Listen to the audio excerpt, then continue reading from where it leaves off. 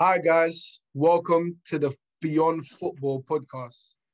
This podcast is basically a platform for young professionals like me to share the to share their journeys.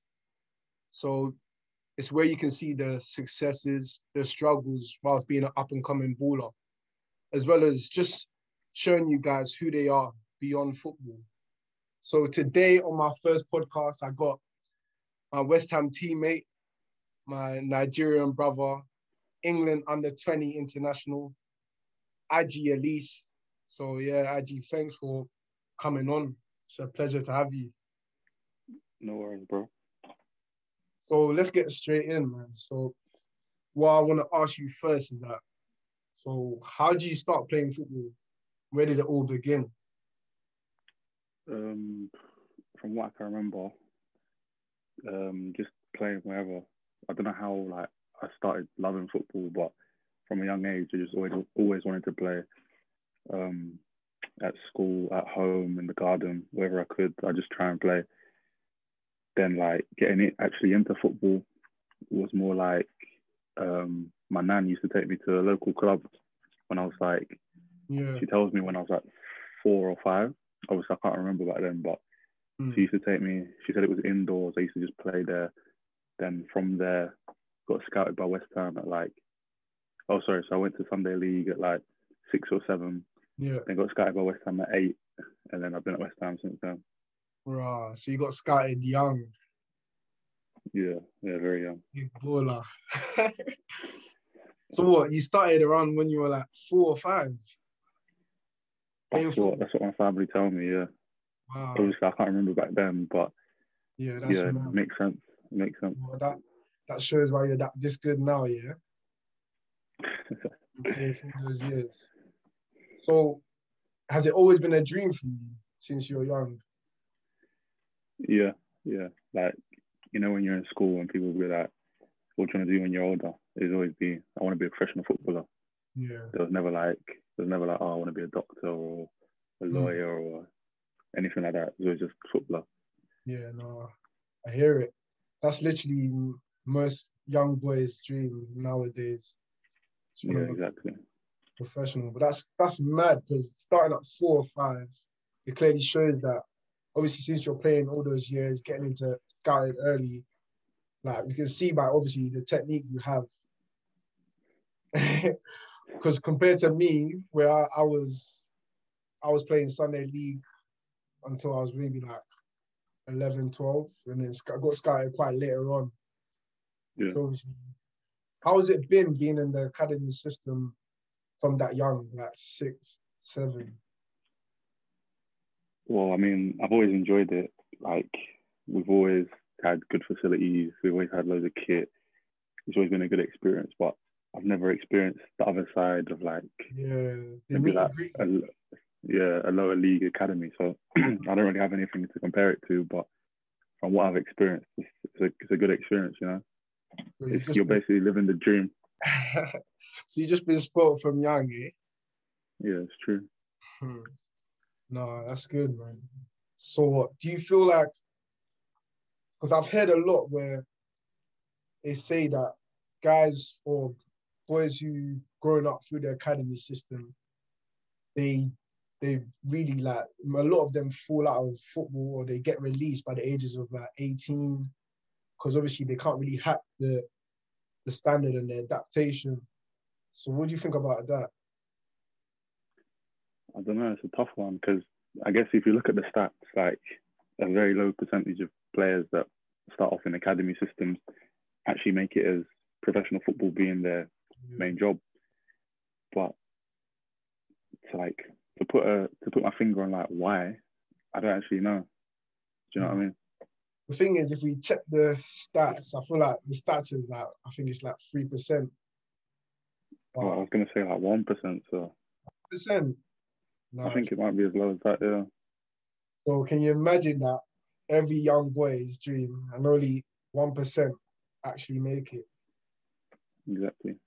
But I feel like some people say that those guys who obviously gone gone up through the academy system, that some people say that the reason why maybe some of them they fall out of football or get released is because they've always been in that bubble. They've always had that lifestyle. They've always had everything done for them, and they haven't really had to work hard compared to someone who maybe comes from like Sunday league, like me, who got scouted around like 12, 13, where they're saying those guys who were like scouted from when they were young are not as hungry because obviously they've been around it.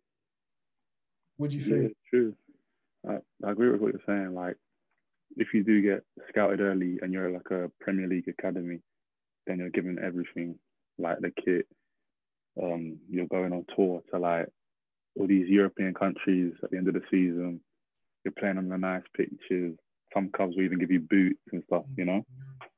So, I guess there is that element where you you haven't had to like like suffer kind of. You haven't had to like go through a lot to like during your journey. So when you get to like 18, 19 and you don't get off with a pro, like it's unusual because everything's kind of gone your way. You've, Yeah. you've always been the best.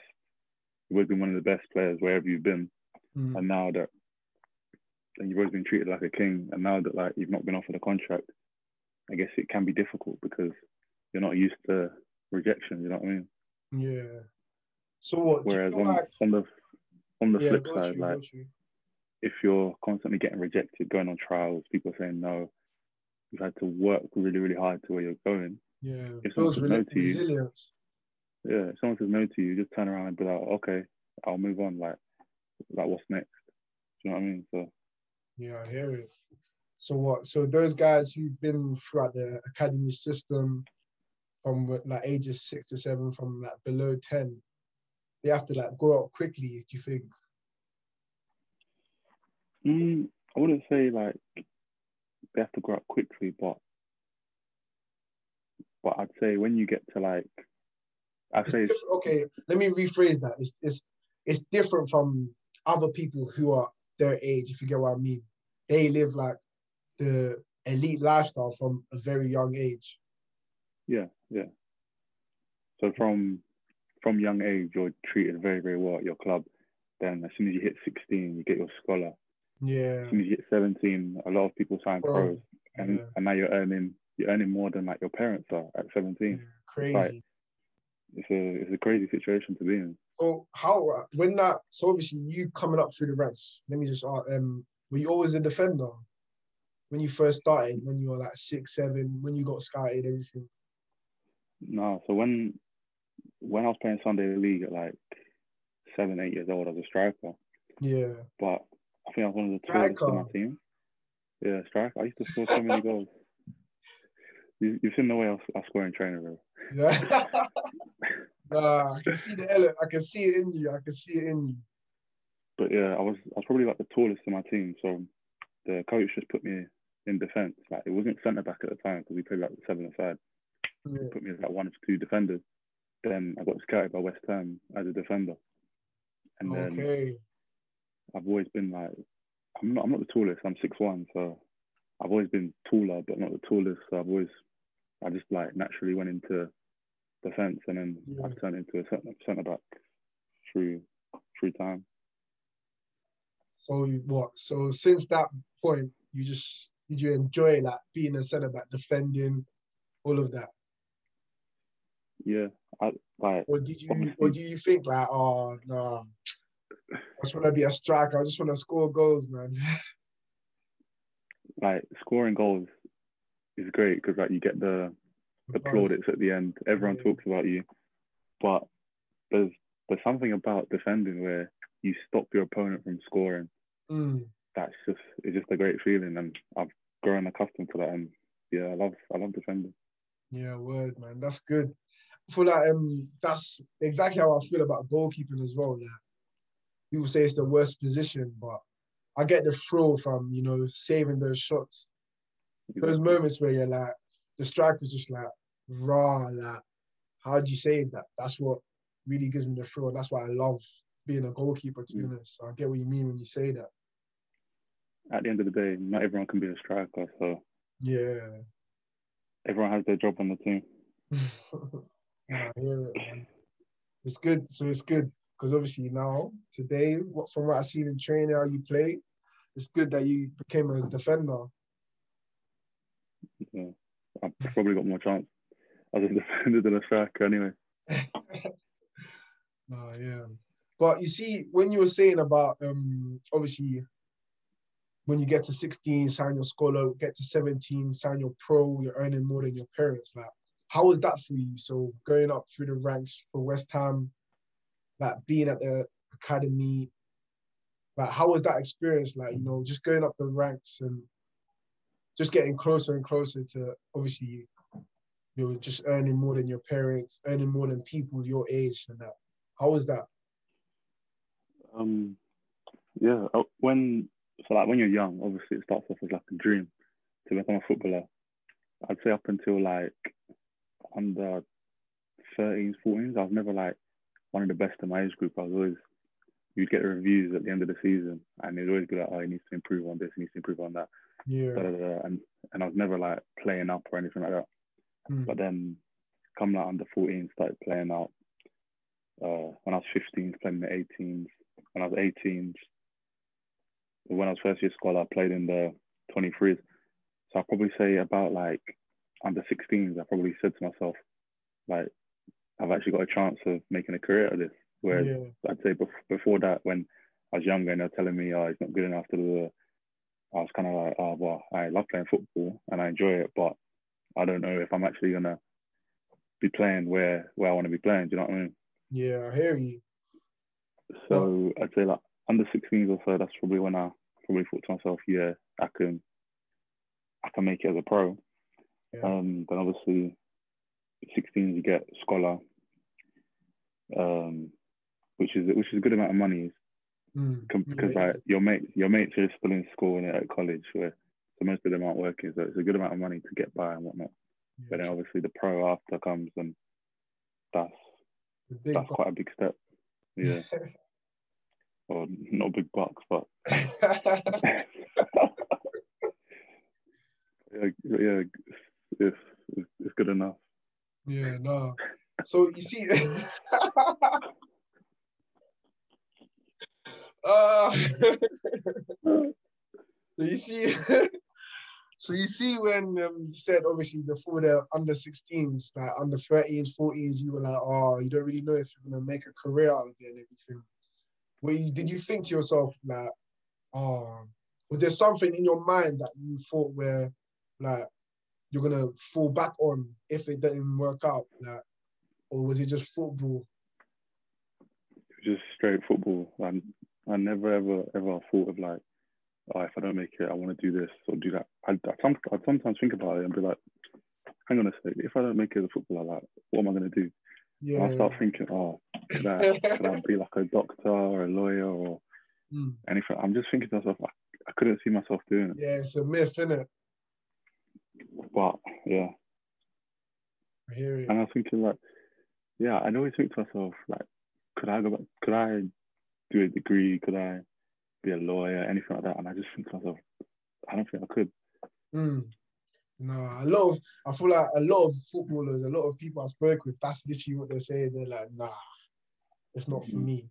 And I feel like I feel like that's especially maybe because of the fact that obviously you've been through that academy system from young. Yeah, yeah. And this was like the time where, and there was a point in time where we were doing day release. So Yeah, yeah, I yeah. got to-. I'd go to school on Monday. I'd go to school Tuesday. At lunch, I'd go to training. Hmm. Wednesday, I'd have the whole day off of school, just training. Thursday would be the same as Tuesday, half day, and then Friday at school. So I was, so I was like, I was, I was falling behind in school as well. I remember one time I was in Your maths day class. release was day release was mad. I was maths release yeah, and then It was and crazy. then my, can you hear me? yeah, I can hear you. I can hear you. Yeah. So I was in maths, yeah, and then my teacher goes. To, so I was in top set maths, and my teacher goes to me, "Oh, we're moving you down to second set," Huh? and I'm like, "Uh," and I was I was struggling. That's the thing. I knew I Oh, was struggling. I, yes. I didn't know what was going on half the time in the class because I was missing like two lessons a week out of like four. Hmm. And he goes, "Oh, we're gonna move you down to second set. It'll be more your level. You're missing too many lessons." And I was like, "No, no, no. I think I can cope," but I could not cope at all. Wow. and then they ended up moving down. So yeah, at that point in time, if you said to me, "Oh, would you go to uni or do any of these like nine to five jobs. I would I could No never see myself doing it. No chance. But so what? Do you feel like it's um? Do you feel like West Ham maybe didn't do enough to obviously facilitate that, like the days you're missing, and catching up with the work and everything, or your teachers? Because obviously, with my experience, when I was at um, when I was at Chelsea, when we had day release, we had like a specific time where we'd have to do education, where they had tutors, and we had to do education before we got our train. So our teachers would have to send us day release work. So you have to make sure we, we're not falling behind and everything. And I feel like that that helped me to be honest with my GCSEs and that. Um, when we were in day release, we'd get like we were meant to get work from school, Yeah. but they'd give us like a an hour slot to do the the work on a Wednesday afternoon. So so the, what we missed on Tuesdays and Thursdays, we never had time to catch up. But on Okay. Wednesdays, we missed the whole day of school, we got given an hour slot. But you know, you turn up like five minutes late. Yeah. On a on a above one. You only like five minutes late. So that's that's like fifty-five minutes left. Then you take your time, sit it down, and that that takes up time. Then you start doing the work, and then you start chatting to someone because there's like there's like Yeah. ten of us, ten of us who've just been out training, training and doing in the club. nah, but true You say, true doing a bit of say, work. edu education on day release is just a myth because everyone on the team is just like just just not on it. So it's, thing is, it's, if it's have, hard like- to just you know concentrate and get your head down. To be honest, Yeah. If you have like math homework and you don't know what you're doing, the teacher that's there was an ICT teacher. oh stress. So, so, so he doesn't know anything about math. Mm. So if, so if you don't know what you're doing, then you just can't do anything. Oh, yeah, no, it's it's techie still, especially you know as footballers. Obviously, day release. You have to be if you obviously if you want to succeed in education, you have to be able to like learn yourself. So in that sense, you have to be able to like be independent, be proactive, and just be able to teach yourself stuff because you can't rely on those teachers and that because we just get Yeah. along. If you if you can't learn by yourself, then there's It's no point trying in, in a classroom of ten guys that Yeah. want to talk about football. Word, man. And I've seen that. I've seen that with so many people. a lot of my team teammates. That's what's happened. But anyways, speaking of, so you've gone through the academy system from ages six, signed your scholar, signed your pro at 17. Now you're getting the England call up. So how did it feel when you got that England call up? The first one, the first one was uh, Under uh, 15? when I was yeah. So I remember I remember actually I was at my old school, Emerson Park, and uh, I found out through the PE teacher. Oh wow. He comes up to me and he's like, "Oh, because this was at like end of year nine, and I was I left at the end of year nine. So Hmm. he's like, oh, we've got an email from England um, or from West Ham, I can't remember, saying you've been called up. And like I was like, what? Like, like, I, like I knew I knew I was doing all right at like whatever level I was playing, 14s or 15s at the time, but I didn't think I was gonna get like a an Mm. England call up or anything like that. you're like raw, like best in the country. Yeah, it was only a training camp at first, but I was thinking this is crazy. Like I didn't think I was I didn't think I was like highly rated like that, or I was thought of like that at all. Mm. No, I hear it. Like my first England call up, it was literally I checked my my dad sent me the email after school. I was like, what? Nah, I was gassed, man. I was gassed. There's nah the the whole experience is different, man.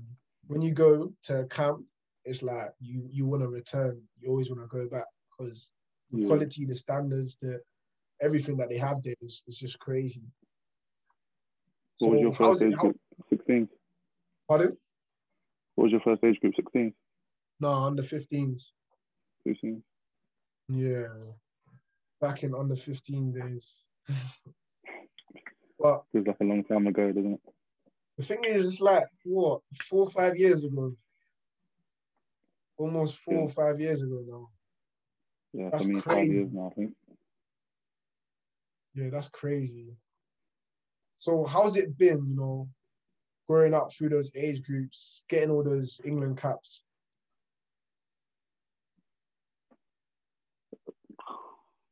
Uh, if I have to describe it, I'd say like it's it's a, it's an honor, obviously, Yeah. but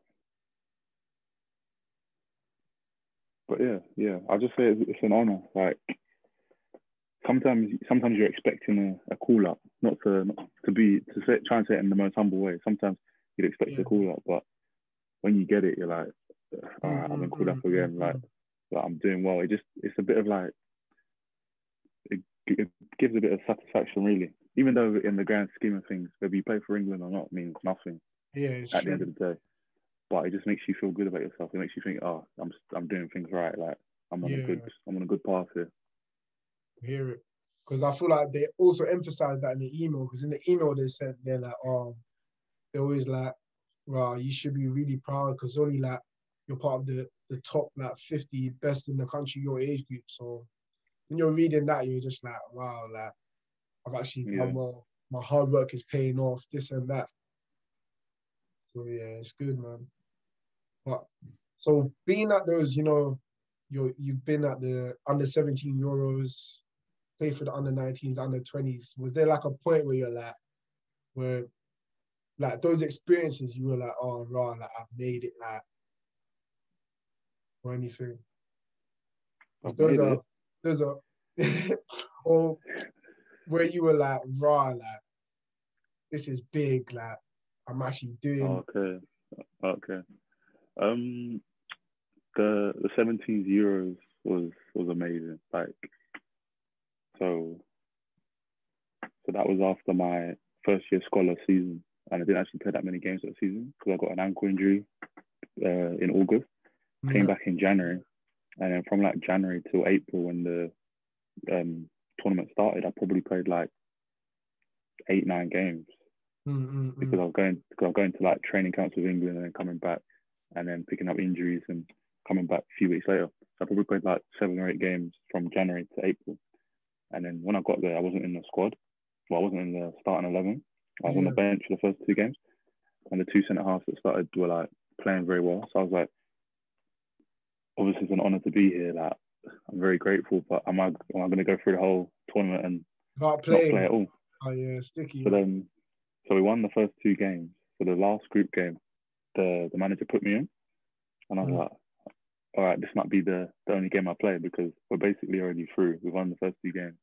He's going to play me in this game. Then the two centre backs that played the first games are going to go back in. yeah. So we played Switzerland. Like looking back at the game, like I have fond memories of it because I, I felt like I played well. You know when you know when you think you play well, you, you just Nah, just happy about the game. like we, we lost one 0 but me personally, having not played the first two games, having not played a lot that season, I was like, I was happy to get through the whole match, no injuries. Yeah, I felt like I'd, I felt like I'd done well myself, and we were through to the next round, yeah. even though we lost. So then, uh, so then, yeah, so then we had the the, the quarterfinals against Norway, and then we're in the meeting, and the manager puts me in the team. Uh, on, Okay, then on. I'm like, all right, I must have done quite well in in that last group game. So we play, and I'm still thinking, oh, okay. So Norway were quite a direct team, so I guess he wanted me in, in the team for my height, winning headers, blah blah blah. Mm. So I, I, was still thinking to myself, okay. So after so we won two 0 and I'm still thinking to myself after the game, all right, um, he's gonna put the other two centre backs back in. Yeah. But then it turns out one of the centre backs got a, his second yellow card in the in that quarter final, so he couldn't play in the semi finals. yeah. So then, in the Stress. space of like in the space of like a week, I've gone from thinking I'm not going to touch the pitch to I'm starting in the semi finals of the Euros. So the semis were against um, Holland, and I can't remember what stadium it was at. Maybe like Rotherham Stadium. Mm. And so the so the the tournament was based in England, which was amazing because Yeah, obviously local. we're England under 17. Yeah, that's hard. That's hard. So you've got all, so all the fans, basically like 90% of the fans in the stadium just cheering you on. Yeah, It's crazy. Like the, the game's on ITV4. So so many fans There's like it's like late April, early May, so the sun's coming out, pitch is lovely, art, everything's just amazing. Living So obviously, dream. so I'd say that was like the point that I'd look at it, I'd look back to and be like, that was that was an amazing, amazing moment that I, I think back to. We we lost that game against um, Netherlands on penalties. Yeah, I think I remember. I think I remember watching that when I was watching you guys on ITV. No, it was good. It was good to watch. Yeah, neither team really like was the better team, but when it goes to penalties, you know, anything can happen. Yeah. Penalties, man.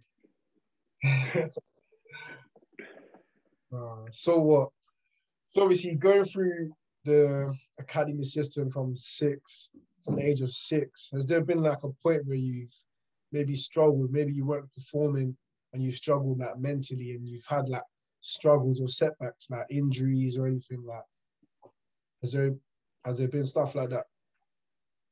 Um, when I was younger, like I said, I was never like the best player in my age group. I was always getting the reviews, and they were saying, I think they used to do a starring system, so it was like out of five, Yeah. and I used to always get like two or something like that. Um, I remember when we used to play four quarters at like under 12. You know how the games were split Yeah, four yeah, quarters? yeah. Four twenty I'd minutes. always, yeah, yeah, I'd always, I'd always play two quarters, and that was it every single week, just two quarters. Oh, right. And most other players are playing like three or four. Do you know I mean? Mm, mm, mm. So it's like it was like I was a good player and they wanted me there, but I wasn't like the best. I wasn't like Yeah. the pick of the bunch. You know I mean? So I wouldn't say I like struggled. I wouldn't say I struggled mentally or anything like that. But that was a point where I wasn't. I wasn't doing my best, or I wasn't at my best. And then uh, going on to injuries, yeah, I've had too many injuries, man. Like, Oh, injuries are the worst, man. The worst. So how how's your how's been like how has been your experience with this? with injuries, Yeah, with injuries. um, so I've I've done my syndesmosis, my right ankle. I've done my I've torn my quad, my right quad. Um, I've had an OCD in my right knee. Flip. I've done my right MCL, but not bad. Just like Oh, yeah, when I done when I done mine as well. I can remember doing proprio with Ant, see, nah, NMC, NMC. Nah, Yeah, those are so- funny times. but but the one thing I would say about injuries is that when you have them, when you then start going back out on the pitch and training, it makes you enjoy playing more. Yeah. Makes you appreciate it.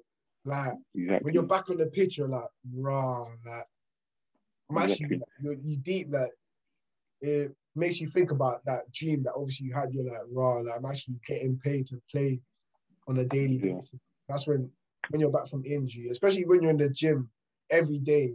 When you're injured, you're doing uppers, lowers, uppers, lowers, like six days a week, no rest. It's head loss, man. Yeah, so so I just came back from a quad injury like, a month ago, and just doing like boxes and like passing outside.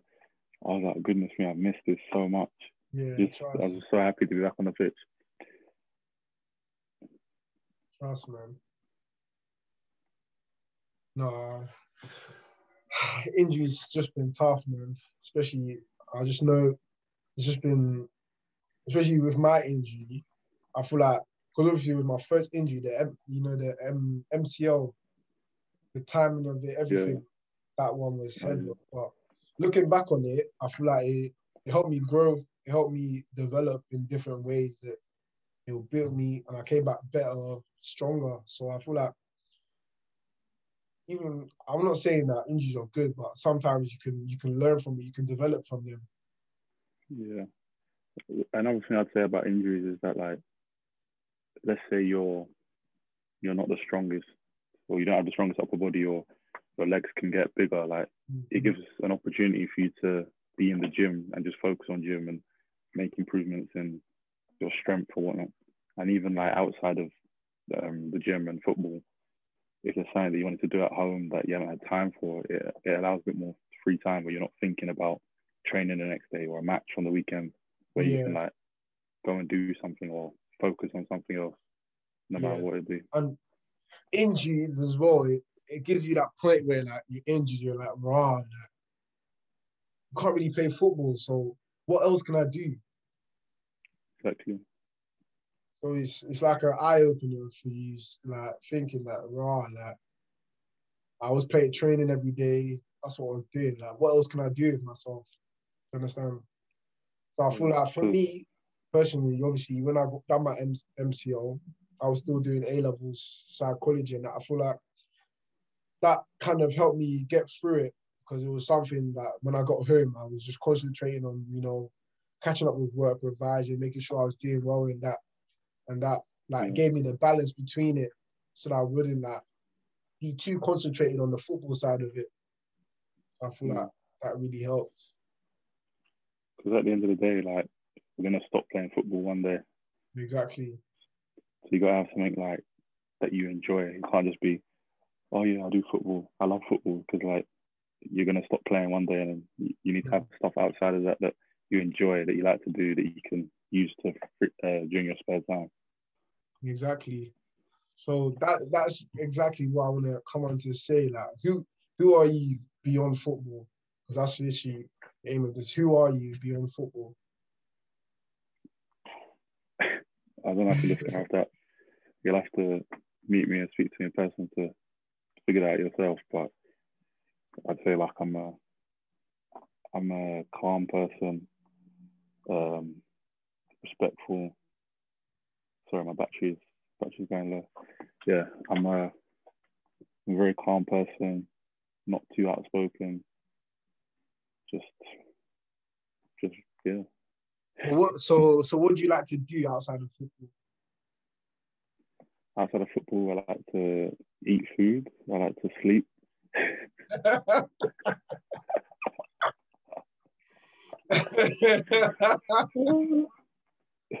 I like to eat a lot of food. Uh, I like to sleep a lot. Um, sometimes I like watching football. I like watching a bit of basketball. Yeah, sometimes, not all the time. I hear it. I hear it. my it's my job at the end of the day, so I don't like. Sometimes I get bored watching. Yeah, no, I hear it. I literally hear that, man. Um, I like watching basketball. Starting to become a big fan of basketball. Hmm. Um, you support? Sometimes I like to What's your favorite? uh, Brook, uh, Brooklyn Nets. Okay. So yeah, I like to sometimes cook, which obviously goes hand in hand with eating. And yeah, yeah. So what? So education wise, obviously, so Aji, you guys, is the one who like really inspired me to obviously do the university course with UEL because he was obviously gonna do it. So you're you're currently doing it as well, right? The Yeah. sports science. Yeah, so I'm currently doing a sport, fitness, and coaching course with, um, or degree with Open Uni. So yeah, we just learn about basically sport, fitness, and coaching, how it links into sports and everyday life, children, everything. Hmm. A lot, a lot that goes How, into it. how have you found that like the balance between that like football and education? Well, I'm doing the course part time because I thought full time would be too much alongside football. But Mhm. when I started the course, I got injured, so I had a lot of free time. So it kind of like worked hand in hand. That the free time that I now had, I could spend doing uni work. Yeah, that's good. So, so it hasn't been too bad. But now that I'm back to playing, it can be can be a bit of a struggle at times because like I'm traveling or I'm training, and I'm tired, and then I'm thinking, oh, well, I still need to do some reading or I've got an assignment that I need to write. But Yeah. at the end of the day, I still if I if I if I time it right and I schedule it right, this I'm still able to do it without too much problem. Yeah, that's good, man. That's why I'm trying to trying to push. Obviously, this beyond football. Uh, obviously, it's possible to obviously balance both and be successful in both. So, what have you have you enjoyed it? Uh, just the balance between it. Yeah, yeah. I, I, I would say I have like so last year when I was on loan, I was in a flat by myself. I would get back from training at like two o'clock Mm. later, and then I'd go to bed at like eleven, half eleven. And honestly, I couldn't tell you what I did in between that time. I'll just sometimes nap, wake up, and There's literally nothing. So what? There's literally nothing else to do in it. Yeah, no, it's some, true. sometimes I'd I'd get back, I'd eat, I'd nap, wake up, eat eat again, watch some TV, and then go to bed. And I did that for six months straight. No, it's And I- I so crazy much- because a lot of people don't think that we have, we don't have, we don't have any free time like that. That we're just like always training. We got bare time, bro. Don't say that too loud, but yeah. okay, yeah, we, we don't have, situation I was we in that much time, but we have we have quite a lot compared to like what what people think. Yeah. So that situation I was in last year, I had too much free time. I had nothing to fill it. Because in in like academy football, sometimes they'll have like meetings at like half three, or you have education if you're still a scholar. But being on loan, there, it was literally you come in, you train, then you go home. Everything's done by one o'clock. So I was getting home one one thirty, two o'clock. I just had nothing to do. Yeah, word. It's it's mad. no, crazy. But it's been nice hearing about your journey, man. Like, I literally didn't know most of the stuff that you've been telling me. But you see, obviously you've been through that system. You've gone up. You've got your scholar. Got your pro. Played for England. Is there is there been a point where you're just like, I'm tired of this, man. Like football's not for me. Like, like I just I'm just tired of it. I can't. I, I just can't be asked. No, not yet. I think the day the day that happens, I'll I'll retire. You know, Yeah, I hear it. obviously there's there's there's times where I'm like, oh, this is hard. Like I'm struggling, or I'm not I'm not where I think I should be, or I want to be further on from where I am. But there's never been a time where I've said to myself, I want to quit playing football because because I love I love playing football. There are other stuff that go that go with it that I don't that I don't enjoy as much, like coming home from long away trips late at night, fast. not being able to always go out and do stuff you want to do. Yeah, But but I love playing football. I love, but, but yeah, I've never never thought never thought of quitting. Not yet, anyway. yeah. No, that's good, man. That's what we lack. That's what we lack. No, it's been great having you, Aji, man. Thanks for coming and speaking to me. I hope, obviously, brother. that it's help people, just show people a little bit of the behind the scenes of what we footballers go through. Because a lot of people just think, you know, play for England, play for, you know, West Ham, get your professional, like it's all rosy, it's all fun and games, you get. But it's Mm. really not like that. So that's obviously what I'm trying to show. But one thing I forgot to mention is that made your West Ham debut as well. So how was Yeah. that? Yeah, that was that was amazing. Like obviously when you're going through the academy, the the the aim is to play for West Ham. You know what I mean? So, so to to be called up to the first team and make my debut was amazing. I I remember saying in, in the interview afterwards, like, now I can always say I've played for West Ham. yeah. I know.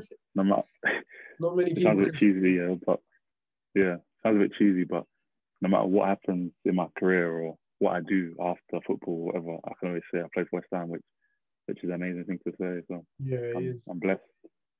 I'm blessed to be in that position. Nah, love to see it, man. It's just obviously just the beginnings of your career. We're still pushing. We're still pushing. Obviously, one day, hopefully, top five leagues, Premier League. Hopefully, bro. no, it's good to have you, man. All right. All right, brother. Thank you. Thanks for thanks for coming on, man. See you guys next time on the Beyond Podcast, Beyond Football Podcast. Be out.